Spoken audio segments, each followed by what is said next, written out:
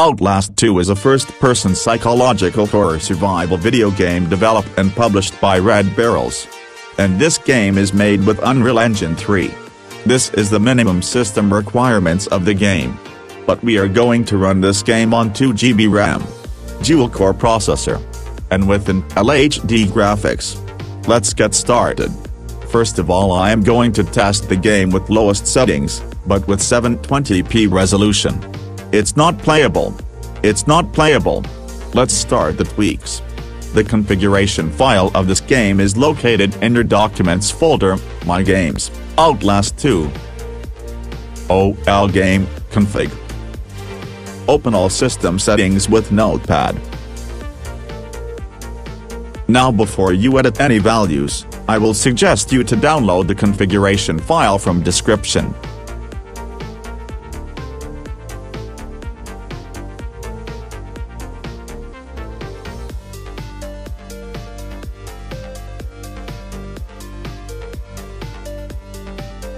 Now change some settings.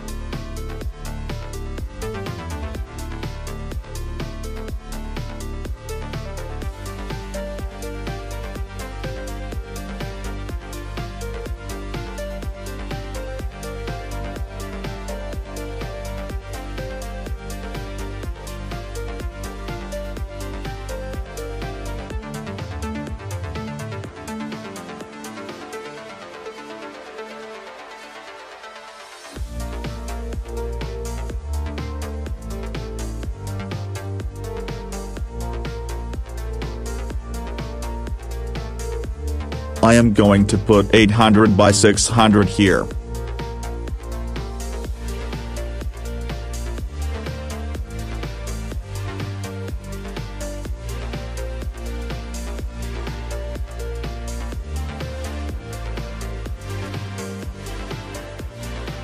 Now you are done. So now let's test the game,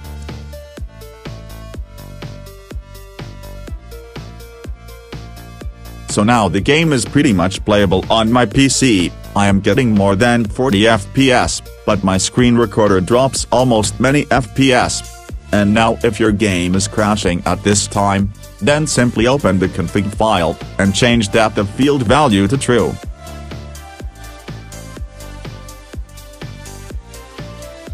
So guys that's it for today.